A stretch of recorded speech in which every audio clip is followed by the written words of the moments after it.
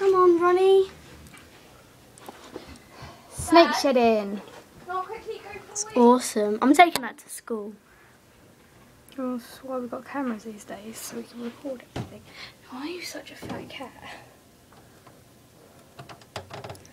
Don't sniff my iPod, That's cat. amazing. I just saw it. I just saw this like grey thing coming off of Ronnie, and I'm just like, oh my god, goodness, shedding. Well, I remember when she did it the first time when I saw her.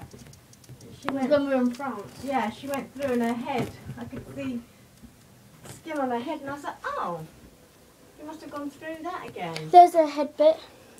Yeah, it's amazing, isn't it? The mouse is right at just the like end, she'll poop. the her guts are coming out. Not the snakes, but the Mouse. mouse. mouse.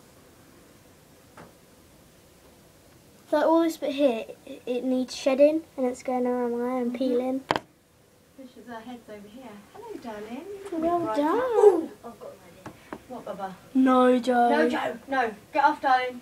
You'll hurt yourself You will. Come on. I'm not taking your A&E tonight. Look, shh. Look, show. That was snake jokes. Look. Look how bright it Yeah, looks. cool. Not as bright as me. You showing this to your friends no. She doesn't take her iPod to school. We do. Sure, she does. How do you